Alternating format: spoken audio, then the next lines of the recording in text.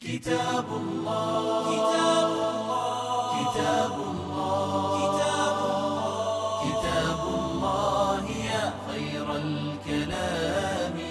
كتاب الله يا خير الكلام.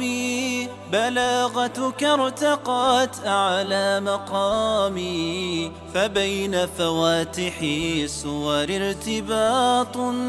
بآيات أتت مسك الختام. كتاب معجز لا ريب فيه. بسم الله الرحمن الرحيم الحمد لله وحده والصلاة والسلام على من لا نبي بعده أيها الأحبة الكرام في هذه الحلقة نأتي إلى تكملة معاني البركة التي جعلها الله تعالى في بيته المعظم الحرام البركة كل عاقل كل إنسان على وجه الأرض يطلب الخير ويطلب البركة فيما أعطاه الله جل وعلا وربنا جعل البيت الحرام مباركا فمن يأتيه معظما إياه حاجا ومعتمرا أو أتاه زائرا مصليا الله جل وعلا يجعل له البركة في عمله ويجعل له البركة في دينه ودنياه. ولذلك ربنا سبحانه جعل مضاعفة الثواب فيه من البركة التي جعلها فيه.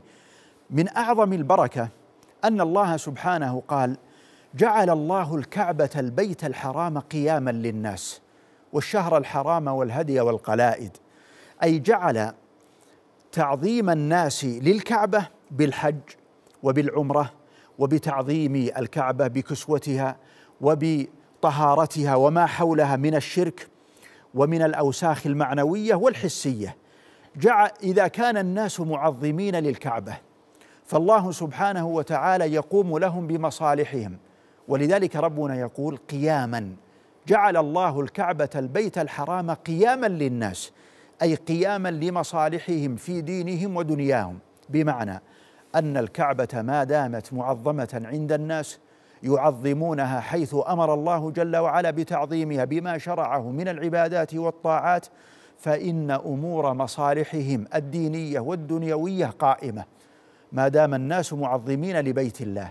ولذلك نستفيد أن الكعبة آخر الزمن إذا هدمت لم يعد الناس معظمين لها. فحينئذ تقوم الساعة بمعنى أنه لا بقاء للناس بعد هدمها وعدم تعظيمها. فلذلك البركة هذه ربما أنها ترفع وهذا فيه إيذان بقيام الساعة وبقرب فناء العالم. ولذلك أحبابي الكرام المسلم عندما يصلي في البيت الحرام عندما يحج عندما يعتمر يستشعر ما يعطيه الله تعالى من البركة يعني الخيرات. والرحمات والفضل في الدنيا وفي الآخرة. ومن أجل ذلك ورد في الحديث عن النبي صلى الله عليه وسلم أنه قال تابعوا بين الحج والعمرة فإنهما ينفيان الفقر والذنوب كما ينفي الكير خبث الحديد. يعني ينفيان شر الدنيا والآخرة. ما الفقر هو شر الدنيا والذنوب هو شر الآخرة.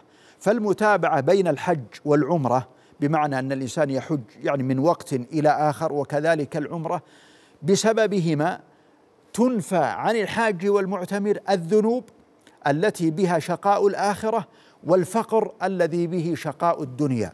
وهذا يلخص لك ما جعله الله تعالى في هذا البيت من الخيرات والبركات. احبابي الكرام أعظم الخيرات والبركات أن يهديك ربك إلى التوحيد الذي لا يقبل الله من أحد سواه. إن الدين عند الله الإسلام. ولذلك جاء بعد قوله تعالى مباركا قال وهدى للعالمين أي جعل الله في هذه الكعبة هداية للناس. فإذا ما فإذا ما تواردت عليهم أسباب الضلال أو اجتالتهم شياطين الإنس والجن تريد أن تحرفهم عن الصراط المستقيم. الله جعل من هذه الكعبة معلما عظيما يهدي الناس إلى أصل ملتهم. التي خلقهم الله عليها ومن أجلها وما خلقت الإنس والجن إلا ليعبدون. الله ما خلقنا إلا لعبادته. وهذه الكعبة جعلها الله هداية لنا. نتذكر بها التوحيد الذي جاء به إبراهيم. وجدده النبي محمد صلى الله عليه وسلم وأثبت دعائمه كما ينبغي. وهدى للعالمين. ولذلك هذا من آثار دعوة إبراهيم عليه السلام لما قال وهو يبني الكعبة وابنه إسماعيل ربنا واجعلنا مسلمين لك ومن ذريتنا أمة مسلمة لك. والإسلام هو الاستسلام الانقياد لله سبحانه وتعالى فيما شرعه الخضوع الإخبات الذلة والافتقار بين يدي الله سبحانه وتعالى وهذا هو لب العبادة. لب العبودية أن تكون مفتقرا إلى الله سبحانه وتعالى. من أجل هذه الهداية العظيمة ونحن نتوجه في الفريضة كل يوم خمس مرات إلى الكعبة انا كنا من أنحاء الأرض. ندعو الله بهذه الدعوة العظيمة في كل ركعة من صلواتنا الفريضة والنافلة. اهدنا الصراط المستقيم.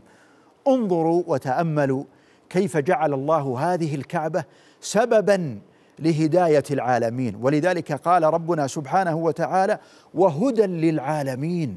أي فيه بصيرة وعظيمة. وكم من غير المسلمين لما رأوا عبر شاشات التلفاز رأوا المسلمين منتظمين متحلقين على الكعبة يصلون لله جل وعلا بطريقة منظمة منتظمة في صلواتهم تثير الدهشة والعجب. بعض من لم يسلم بعض من كان على غير دين الإسلام لما يرى هذا المشهد العظيم لا يسعه إلا أن يسلم من فوره. وهذا واقع وهذا من الهداية كما قال سبحانه وهدى للعالمين. ثم قال بعد ذلك فيه آيات بينات. ويا لله العجب انظروا إلى جمال وعظمة فصاحة القرآن. فيه آيات بينات. تأمل قوله مباركا وهدى للعالمين جاء منصوبا على الحال. يعني نصب على الحال. أي جعل الله هذا البيت في هو أول بيت للناس حال كونه مباركا وهداية للعالمين. ثم قال فيه آيات بينات. أي على صيغة الجملة الاسمية. لأن البركة فيه والهداية أمران ذاتيان في الكعبة. وكونه فيه آيات بينات. هذه جملة منفصلة عما تقدمها بمعنى أن الله جعل في الكعبة آيات وعلامات يستدل بها الناس على ما شرعه الله تعالى على ألسنة رسله. قال فيه آيات بينات آيات عظيمة. ثم قال بعد ذلك بيانا مقام إبراهيم. أي من هذه الآيات البينات الواضحات التي هي دلائل وبراهين على العلم الإلهي وعلى الهداية الربانية التي أرادها الله للناس وعلى الشرائع التي شرعها الله للناس لتصلح علي بسببها أمور دينهم ودنياهم. جعل الله علامات ودلائل وبينات يهتدون من خلالها إلى حق الله عليهم منها من أعظمها مقام إبراهيم. طبعا الآيات البينات عظيمة منها ما جعله الله في الكعبة من الحرمة أن القلوب تعظمها. جعل الله الكعبة معظمة في قلوب الناس وافئده الناس تهوي إليها محبة وشوقا. وإن شاء الله في الحلقات القادمة نأتي إلى عرض شيء مما يسمح به الوقت من تفاصيل هذه الآيات البينات التي من عمومها مقام إبراهيم. نسأل الله جل وعلا أن يوفقنا وإياكم لكل خير. وصلى الله وسلم على نبينا محمد. فأشرقت الحروف به بيانا وفاضت مثل غيث من غمام وفاضت مثل غيث من غمام